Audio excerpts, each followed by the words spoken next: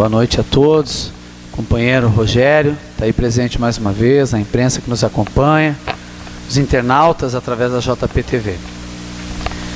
Na verdade, hoje, mais uma vez, seria um daqueles dias que eu não viria à tribuna.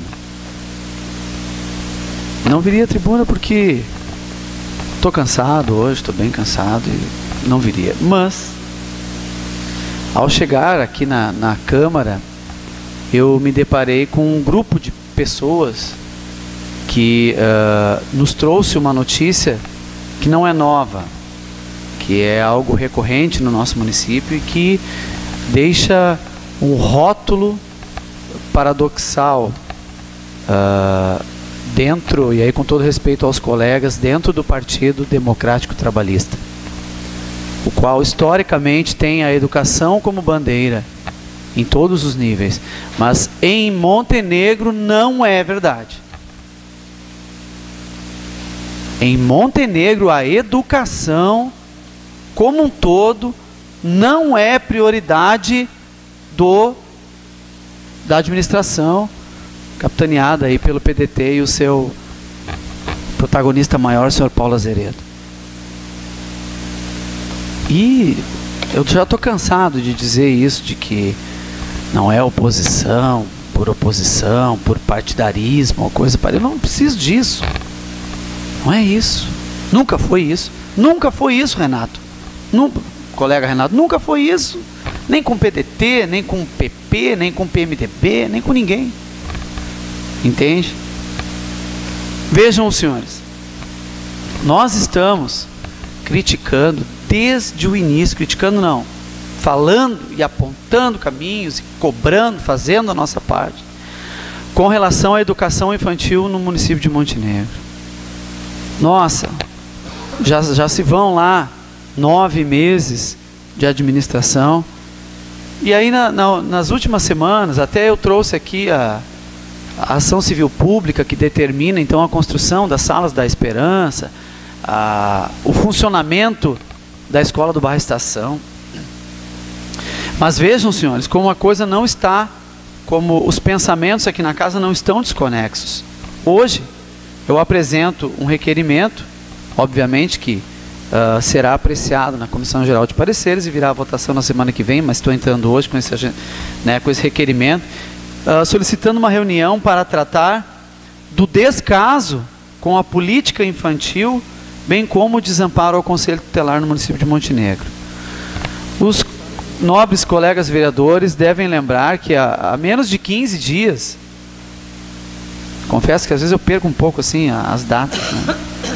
A gente fez uma reunião aqui na Câmara, a qual chamei, aprovada em plenário, para saber do município quais eram as políticas para a infância e para a juventude que o município estava desenvolvendo. Lembra disso, presidente? Há pouco tempo, faz uns 15 dias isto. Né?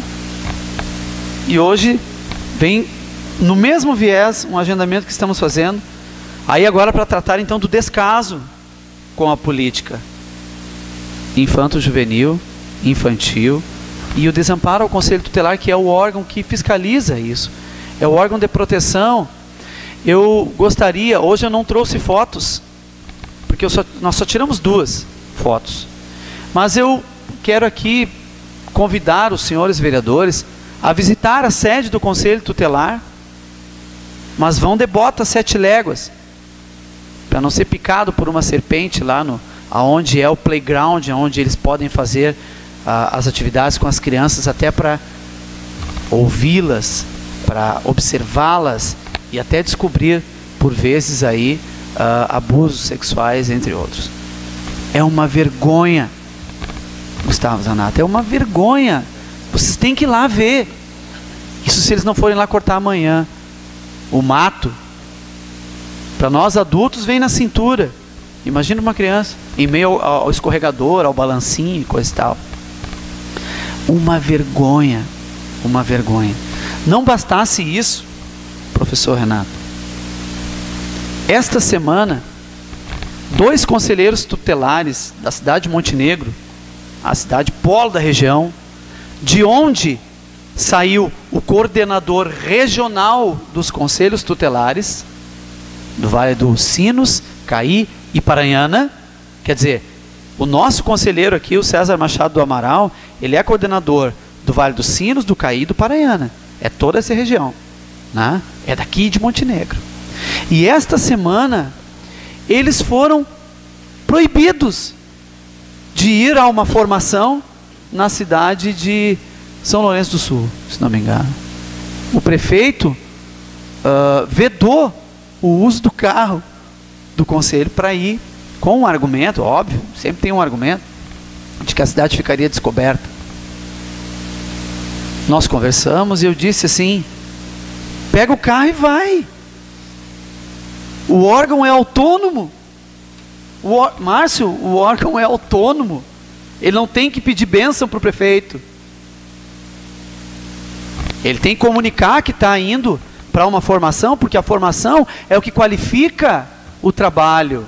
Por isso que a coisa está desse jeito. Não se faz nada, porque não tem conhecimento de causa. Não estuda. Não estuda, Letícia. Tu que te formou agora. Não estuda, não precisa estudar, isso é bobagem. A gente faz ali, puxadinho, passa régua ali, vai fazendo. E vai caindo.